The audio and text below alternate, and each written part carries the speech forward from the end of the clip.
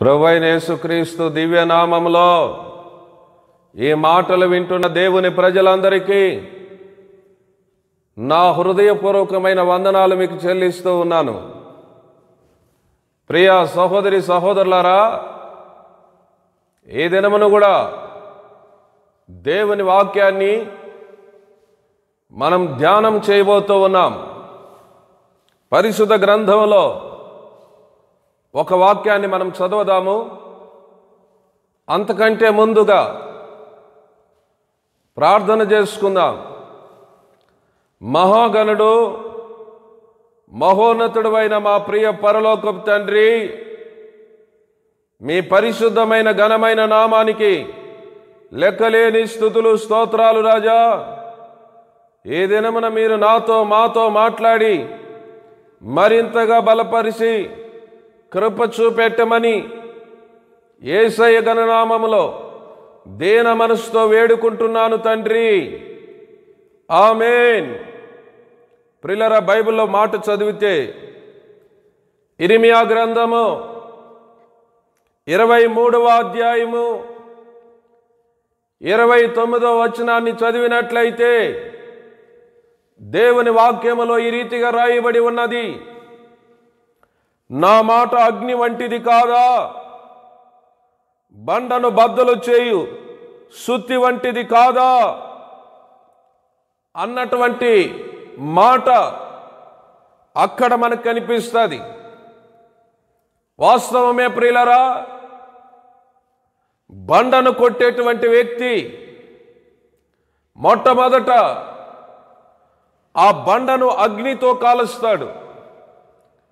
ఆ తర్వాత సుత్తిని తీసుకొని ఆ బండ మీద కొట్టినప్పుడు ఎలాంటి గట్టిదనము కలిగిన బండ అయినా సరే అది ఇరిగిపోతుంది పగిలిపోతుంది. అదే రీతిగా దేవుని మాటలు కూడా బలమైనటువంటి అగ్ని లాంటివి. దేవుని మాటలు బండను బద్దలు చేసే సుత్తి లాంటివి. ఈ రోజున మనుషుల జీవితాలలో హృదయాలు ఏ విధంగా మారిపోయాయో తెలుసా? బండ వలె మారిపోయాయి. కఠినంగా మారిపోయాయి. అలాంటి హృదయాలను ఈ భూమి మీద ఎవరు మార్చగలరు? అలాంటి హృదయాన్ని ఎవరు మార్చగలరు? ఆ కఠినమైన హృదయాన్ని ఎవరు మార్చగలరు అంటే దేవుని మాటల ద్వారా మార్చుకోవచ్చు. దేవుని మాటలు మనిషి హృదయంలో ఉన్నటువంటి పాపము అగ్ని వలె కాల్చివేస్తాయి. కఠినమైపోయినటువంటి హృదయాన్ని కూడా దేవుని మాటలు ఒక సుత్తి వలె కొట్టి ఆ హృదయాన్ని మారుస్తుంది. అందుకొరకే ప్రవక్త ద్వారా దేవుడు మాట్లాడుతూ ఉన్నాడు. నా మాటలు అగ్ని వంటివి కావా? బండను బద్దలు చేయు శుద్ధి వంటివి కావా? అని ఆయన మాట్లాడుతూ ఉన్నాడు. వాస్తవమే ప్రియులరా యేసుక్రీస్తు కూడా ఈ లోకంలో శరీరధారయ్యాయి. ఉన్న రోజులలో ఆయన ముందుగానే చెప్పుకున్నాడు సిలువను గురించి. నేను పాపిష్టి మనుషుల చేతికి అప్పగించబడబోతూ ఉన్నాను. వారు నన్ను పట్టుకొని కొట్టి సిలువకేస్తారు మూడో రోజున నేను తిరిగి లేస్తానని ప్రభు చెప్పాడు. ఆ రీతిగానే యేసుక్రీస్తును పట్టుకొని శుక్రవారం సిలువకేశారు. ఆదివారం ఉదయాన తిరిగి ఆయన లేచినట్లుగా పరిశుద్ధ గ్రంథం బోధిస్తూ ఉన్నది. ఆ దినమందే ఇద్దరు వ్యక్తులు ఎరుసలేము నుంచి ఎంఐ గ్రామానికి నడుచుకొని వెళుతూ ఉన్నారు. ఎరుసలేముకి ఎంఐ గ్రామానికి ఆమడ దూరం ఉంది. వారు నడుచుకొని వెళుతూ ఆ యొక్క పునరుత్నపు దినపు రోజున వారు యేసుక్రీస్తుని గురించి మాట్లాడుకొని వెళుతూ ఉన్నారు. ఆ త్రోవలో ఏసయ్య వారితో కూడా నడిచాడు. వారు గుర్తుపట్టలేదు ఏసయ్యను. ఎందుకంటే వారు మనోనేత్రాలు మూతపడిపోయి ఉన్నాయి. ఆయన అంటూ ఉన్నాడు ఎవరి గురించి మాట్లాడుతున్నారు మీరు? నీకు తెలీదా? ఎరుసలేములో బస చేయలేదా నీవు? నీకొక్కనికే తెలియదా అనంటే నాకు తెలియదు అన్నాడు మేం మాట్లాడుకుంటూ ఉన్నది నజరేయుడైన యేసుక్రీస్తును గురించి. ఆయన దేవుని ఎదుట మనుషుల ఎదుట క్రియలలోనూ వాక్యములోనూ ఒక బలమైన ప్రవక్త అయిన అయితే మన ప్రధాన యాజకులు ఆయనను పట్టుకొని మరణ శిక్షకు అప్పగించారు. ఇదిగో ఈ యొక్క ఇస్రాయులులకి విమోచన కొరకు రావలసిన ప్రవక్త ఆయనే అని మేము నమ్ముతూ ఉన్నాం.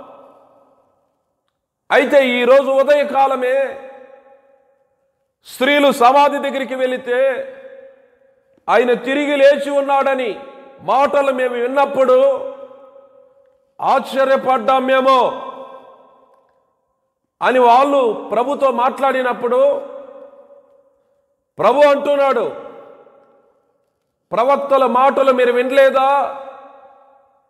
ప్రవక్తల మాటలు నమ్మలేని మందమతులారా అని వారిని ఖండించి గద్దించి మోసే నుంచి అనేకమైనటువంటి ప్రవక్తలు చెప్పిన లేఖనాలను వారికి వివరంగా విశదపరిచాడు ఆయన. ఈ విధంగా మాట్లాడుకుంటూ వస్తూ ఉన్నప్పుడు ఎంఐ గ్రామం వచ్చేసింది. వెంటనే ఆయన అంటున్నాడు నేను ఇంకా కొంచెం దూరం వెళ్ళాలి అని. వారు అంటున్నారు ఇద్దరు చీకటి పడిపోయింది ఈ రాత్రి మా దగ్గర ఉండవచ్చు కదా అని ఆయన తీసుకొని వెళ్ళారు. రాత్రి భోజనం చేస్తూ ఉన్నారు. ఆ సందర్భంలో ఏసై ఒక రొట్టెని తీసుకొని కృతజ్ఞతాస్థుతులు చెల్లించి వారికిచ్చినప్పుడు వారు మనోనేత్రాలు వెలిగించబడి ఏసయ్యను గుర్తుపట్టారు. ఈలోపే ఆయన అదృశ్యమైపోయాడు. కంటికి కనిపించకుండా వెళ్ళిపోయాడు. ఆశ్చర్యమందే వారి అమ్మాయి గ్రామం నుంచి వచ్చి జరిగినది శిష్యులకు అనేకులకు తెలియపరిచారు. ఆ సందర్భంలో వారు మాట్లాడుతున్నటువంటి మాటలు బైబిల్ గ్రంథంలో లోకా సువార్త ఇరవై నాలుగవ అధ్యాయం ముప్పై రెండులో కన చదివినప్పుడు అక్కడ రాయబడిన మాట ఈ రీతిగా ఉంది. అప్పుడు వారు ఆయన త్రోవలో మనతో మాట్లాడుసు లేఖనములను మనకు బోధపరుచుచున్నప్పుడు మన హృదయములు మనలో మండుసుండలేదా అని ఒకరితో ఒకడు చెప్పుకొనిరి. యేసుక్రీస్తు మనతో కూడా నడుచుకొని వచ్చాడు కదా. లేఖనాల గురించి ఆయన మాట్లాడుతున్నప్పుడు మనకు బోధిస్తున్నప్పుడు మన ఇద్దరు హృదయాలు కూడా ఏమైపోయాయి అంటే మండలేదా? వాస్తవమై ప్రిలరా దేవుని మాటలు హృదయాన్ని మండిస్తాయి. హృదయములో ఉన్న పాపాన్ని కాల్చివేస్తాయి. ఈ మాటలు వింటున్నటువంటి దేవుని ప్రజలారా భర్త మారలేదని భార్య మారలేదని అనేక పాప కార్యాలలో నిండిపోయినటువంటి ప్రజలు లేరా? ఉన్నారు. అలాంటి వారు మారాలి అంటే ఒకటే మార్గము దేవుని మాటల ద్వారా మార్చుకోవచ్చు. దేవుని మాటలు ఎప్పటికైనా ఆ మనిషిని మారుస్తాయి. ఆ గుండెను మారుస్తాయి. మనసును మారుస్తాయి. ఎందుకంటే దేవుని మాటలు అగ్ని వంటివి. దేవుని మాటలు బండను బద్దలు చేయి సుత్తి వంటివి.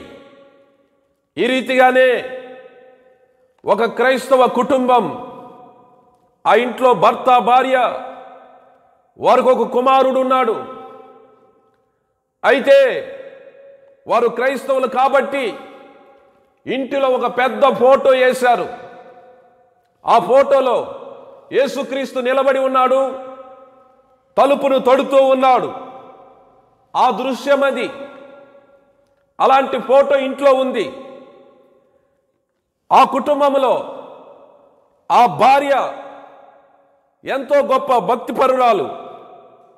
ఆ కుమారుడు కూడా చిన్ననాటి నుంచి మందిరానికి వెళుతున్నాడు భక్తిని నేర్చుకున్నాడు.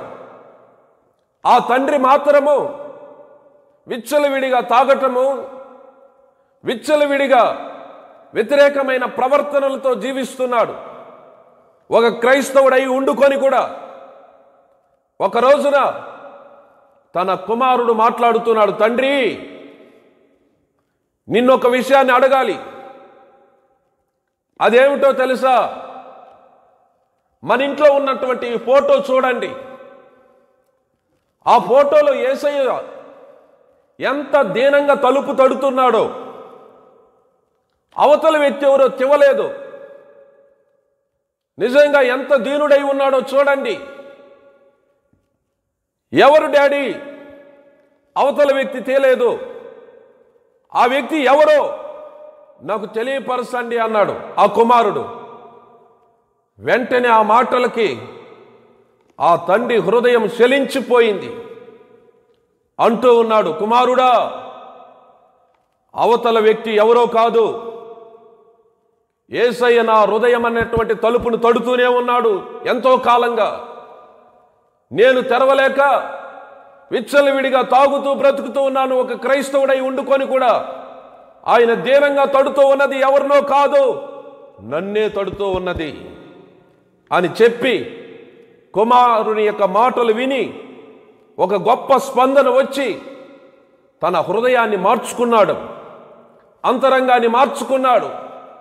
ఈ మాటలు వింటున్న దేవుని ప్రజలారా క్రైస్తవుడై ఉండుకొని కూడా మారలేదా? దేవుని వాక్యం దగ్గరికి వచ్చి కూడా నువ్వు మారలేదా? దేవుని వాక్యానికి నువ్వు అవకాశం ఇవ్వలేదంతే నీవు అవకాశం ఇస్తే ఈ మాటలు అగ్ని వలె నీ హృదయంలోకి వచ్చి నీ పాపాన్ని పూర్తిగా కాల్చి బూడిది చేయగలుగుతాయి. మళ్ళీ నీ పాపం నీలో ఉండదు అగ్ని వలె దహింప చేస్తాయి దేవుని మాటలు. నీ కఠినమైనటువంటి హృదయాన్ని ఎవరు చెప్పినా తల్లి చెప్పినా తండ్రి చెప్పినా ఎన్నోసార్లు దైవ సేవకుడు చెప్పినా మారలేకుండా ఉంటూ ఉన్నావా? దేవుని వాక్యానికి అవకాశం ఇస్తే బండ లాంటి నీ హృదయాన్ని దేవుని వాక్యం అన్నటువంటి శుద్ధితో కొట్టబడి దానిని పూర్తిగా పగలగొట్టి నీ హృదయాన్ని మార్చేవి దేవుని మాటలు. ఈ విషయాన్ని గుర్తెరిగి గమనించు. ఇంకా మార్పు చెందకపోతే ఈ వాక్యం నీ ఇంటిలోకి వస్తూ ఉండగా ఈ వాక్యం నీ దగ్గరకు వస్తూ ఉండగా నువ్వు ఎక్కడ ఉన్నావో అక్కడ వింటూ ఉండగా నీ జీవితాన్ని మార్చుకో. నా మాటలు అగ్ని వంటివి కావా? బండను బద్దలు చేయి సుత్తి వంటివి కావా అని పరిశుద్ధాత్మ దేవుడు నీతో మాట్లాడుతూ ఉండగా ఈ వాక్యము ద్వారా ఏ పాపములో ఏ అంధత్వములో ఏ కామములో ఏ మోహములో ఏ భయంకరమైన తాగుడులో వ్యభిచారములో జూదములో నీ జీవితాన్ని మోసములో లంచములో నడిపించుకొని మార్పు లేకుండా బ్రతుకుతూ ఉన్నావేమో. సమాధానం లేకుండా దైవత్వం లేకుండా దేవుని ఎదుట జీవిస్తూ ఉన్నావేమో. ఈ మాటలు వస్తూ ఉండగానే నీ హృదయములో బలముగా పని చేయని ఈ మాటలు నీ అంతరంగములో బలముగా పనిచేయునుగాక. కళ్ళు మూసుకుందాం. ప్రార్థన. మహాగణుడు మహోన్నతుడు అయిన మా ప్రియ పరలోకపు తండ్రి ఈ మాటలు ఎక్కడెక్కడ వింటూ ఉన్నారో మీ మాటలు అగ్ని వలె వెళ్ళి వాళ్ళ హృదయంలో ఉన్న పాపాన్ని కాల్చునే ప్రభువ. నీ మాటలు ఒక బండ బండను బద్దలు చేయి చుచ్చువలే వారి హృదయంలో పని ప్రభువా ప్రభువ. ఆ హృదయం కఠినపరుచుకొని ఉన్నాడేమో. మార్చుకొని తండ్రి మీరే మహిమ పొందండి ప్రభువ. ఈ మాటలు విన్న ప్రజలందరినీ కూడా పేరు పేరున మీరు దీవించి ఆశీర్వదించి వారి మీద కృప చూపెట్టమని ఏసయ గణనామంలో దీన మనసుతో వేడుకుంటున్నాను తండ్రి. ఆమెన్. దేవుడు మిమ్మల్ని దీవించునుగాక మరొకసారి మీ అందరికీ నా హృదయపూర్వకమైన వందనాలు చెల్లిస్తూ ఉన్నాను.